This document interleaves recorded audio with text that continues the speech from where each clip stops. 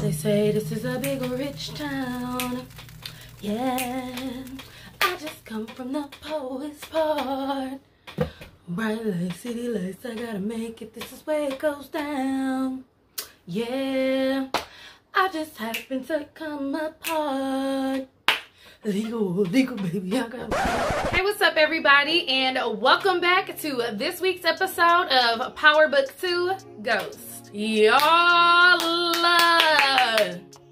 this week's episode went crazy. Went fucking crazy, y'all. Like, OMG, this episode was jam packed with stuff. Whew. So, y'all know what? I ain't even gonna talk too much. We just gonna get right into my top 10 recap, review, predictions, spoilers, WTF moments, all that good stuff. And y'all ignore my hands because y'all know I be talking with my hands, but my nails not done. I gotta um I gotta chill with the fake nails for a couple weeks. You know what I'm saying? I gotta get myself back right. So ignore me, ignore my hands, ignore all the movements, cause I ain't I'm still a bad bitch. But you know what I'm saying? You know, whatever. Y'all it's snowing outside right now, and um. I'm not feeling it, but that ain't got nothing to do with what we talking about. So let's just get right into this week's episode. The greater good. Number one. Y'all love. Okay, so let's just start off with this. This nigga Mecca is crazy. This nigga Mecca is a motherfucking fool, y'all. That nigga is crazy. So Cane ended up going over to Mecca's house. And it was one of Mecca's people's birthday, y'all. So it was already some crazy shit happening. They up there slicing a pig open to get party favors. It was just all kind of crazy ass shit going on. But um his guy, Mecca's guy whose birthday it was, he was, you know, had some looser lips. He had diarrhea mouth. And he mentioned something about Mecca going to Kuwait, and then Mecca's personal chef, maid, butler, whatever you want to call it, dude, was like, hey, hey, hey, um, we need some girls over here. You know, try to shut that nigga up real quick. And then a little while later, Cane sitting up there talking to the birthday boy. And um, that nigga got put to sleep for his birthday. Cause he up there like, yeah, that nigga Mecca don't have no hoes. He been stuck on some bitch the whole time we been in New York, blah, blah, blah.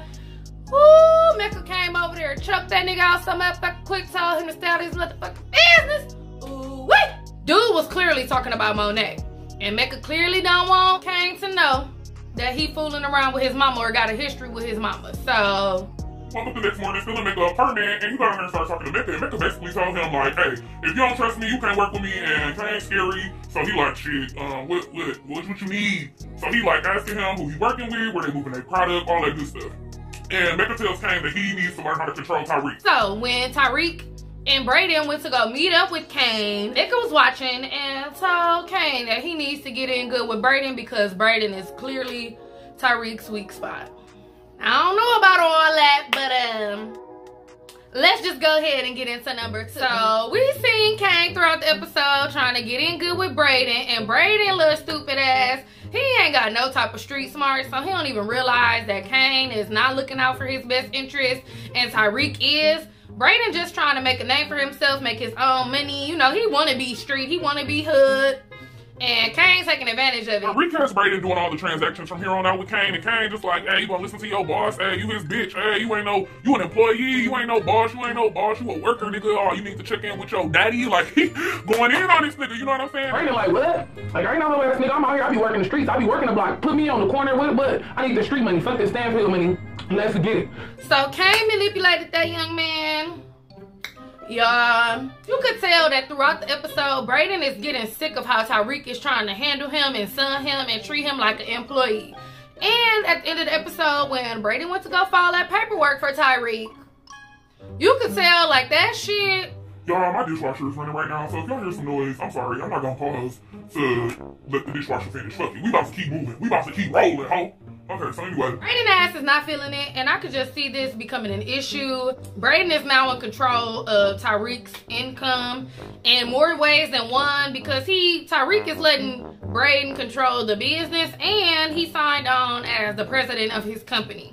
And we gonna get into that right now. Number three. So I ain't even gonna lie, y'all. I have been loving these interactions that Tariq and Councilman Tate have been having this season. So when Tariq pulled up to the event for Councilman Tate's brother to become a, he's becoming a detective for the DA's office. Yo, it's about to be some mess going on. All this shit piling up, and and all these pieces coming together, uh-uh, it's about to be some mess. So anyway, Tariq pulled up on Tate at the event. He like, oh, that's my uncle. Tate like, nephew, nephew, get your black ass out of here for these white people arrest you, nigga. Tate know what Tariq be on. Tariq know what Tate be on. And they both trying to maneuver in this white people society. So I thought that shit was funny. But anyway, Tariq pulled up on Tate, told him he needs some help with his little sister. And Tate told him he gonna need some dirt, dirt. Some dirt, dirt on Congressman Sweeney because he needs to get his congressional seat. Tate came through with his word. He got Tariq a meeting with the CPS people. That didn't really pan out to nothing. So he ended up getting Tariq an address so he could go see his little sister. But the CPS people told Tariq that there's no way that he's going to be able to have his sister unless he has a stable income,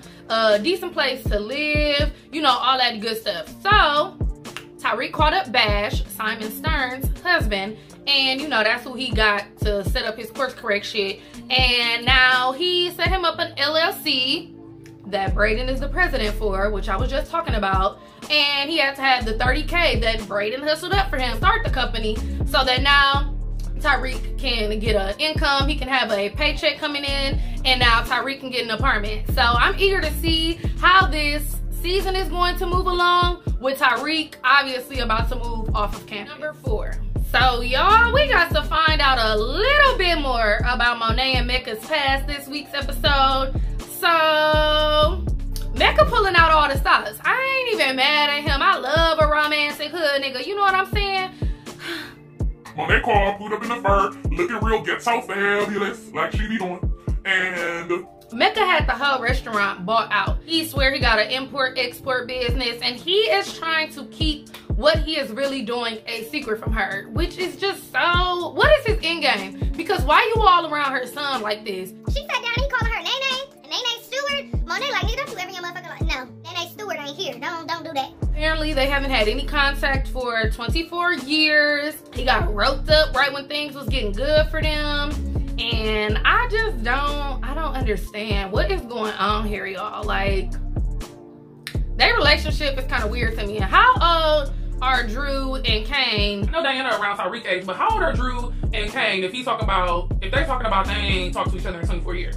Because I feel like Cane should be older than 24, right? Child, I don't know. What if, what if Mecca is Cane daddy for real? Child. I really just want to know what this nigga Mecca is up to and why is he targeting Monet and her family? What score is he trying to settle? Because I'm confused. I need to. Number five. So, whole time, Monet out getting her little swerve on, have her good old time on her little date. Zeke little stupid ass up there calling her. 18, I need your help. I'm down at the 21st precinct. Like, Monet girl, if you don't answer, it's too late now. Zeke done already got questioned and Detective Whitman, he, y'all, did y'all see the way his face lit up when Zeke handed him that PBA card? The PBA card, if you don't know what it is, is basically like a get out of jail. Free card for police officers and their close friends and family. When you get into some trouble, you show the police that card and they kind of be like, um, well, I guess we could turn the other cheek because you're a friend. Did y'all see though the way that Detective Whitman face lit up? Like that nigga like y'all his dick got hard. Like he was aroused. Like he couldn't believe it. He woo, that boy was He is convinced that Carrie and Zeke murdered Jabari together or one of them got something to do with it. Zeke so slow. Zeke don't know what's going on. So Kevin just talking him in circles and confusing this nigga. And now Zeke done ruined Carrie's alibi. He asking if Carrie was with him the night Jabari was murdered. He like, no. Who I don't know. I don't know. But I do know that Kevin is doing too much, and when he came up to the school to like confront Carrie and Councilman Tate heard, y'all, I don't know what that information is gonna do for Tate, but Detective Whitman, he's doing too much, and he has a personal vendetta. Somebody needs to get this nigga off the case because he was too geek to tell Zeke that Carrie a pass around and all that. I mean, she an info, we know that, so I can only imagine how many more bodies she got that we don't know about him. That's why Tate trying to get in where he fit in. He ain't wrong. Might as well, ain't no fun unless we all get fun, right, Tate? Shit. Luckily, Monet got off her little date, got off the helicopter just in time, and her and David showed up and pulled him up out of question. So while Monet is up here dilly dallying with Mecca, aka Dante, Diana is trying to get her daddy out of jail, y'all. So Diana went to try to go meet with Davis, and they wouldn't take her unless she had a referral. So she got Tariq to get her in.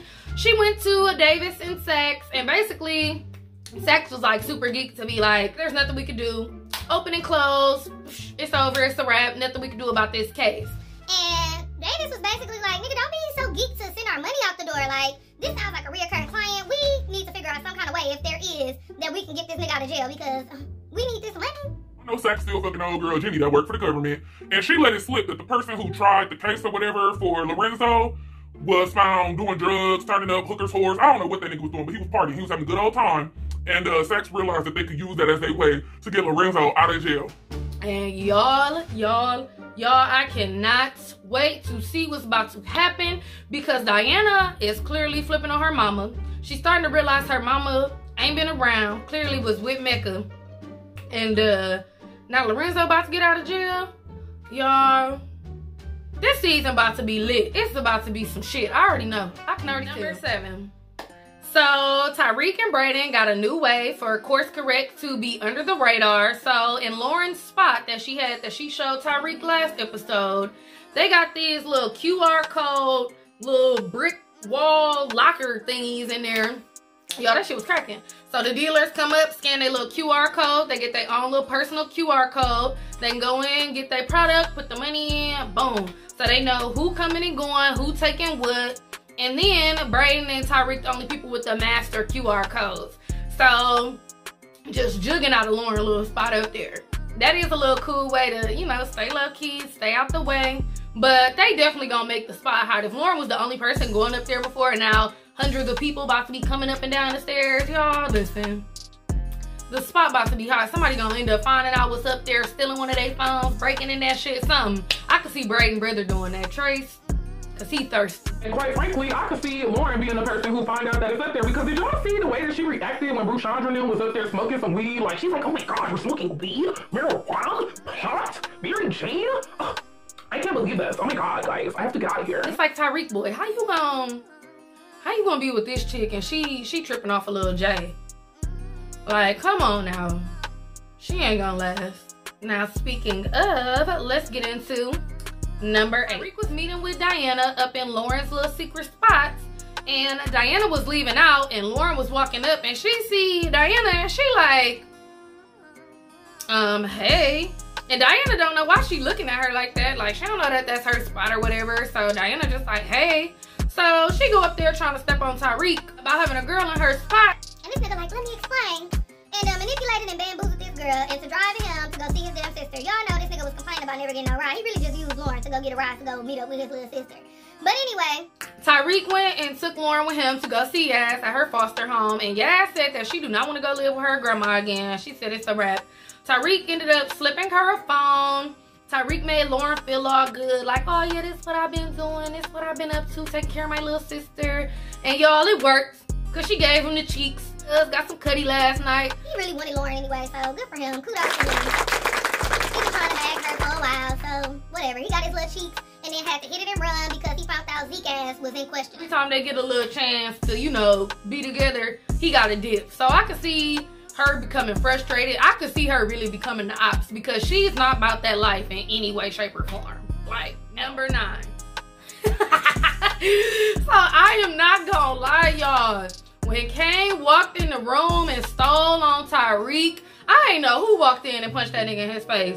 But dude, he punched the shit out of him. And Tariq already knew he couldn't retaliate on him. He just had to eat that shit because kind of fuck him up for real. So he just had to go ahead and eat that little punch. But Cane is not playing with Tariq because Tariq was supposed to plant that phone last episode, didn't. Tell me I ain't need to, it's all taken care of. All the time, Tariq didn't know that Zeke was sleeping with Professor Milgram. Just a mess. Oh, what a tangled web we weave. Like, y'all, for real. Everything is intertwining itself. And Tariq and Cane is about to get their ass in some deeper shit. And I don't like how Cane trying to just really pin everything on Tariq. Like, he ain't the one who killed Ramirez and all that stuff. Like, boy, you low-key just as much to blame as he is. But y'all, I'm sorry. Like, this past episode, I was just looking at and I'm like, who I know he was fine, but y'all, I don't know.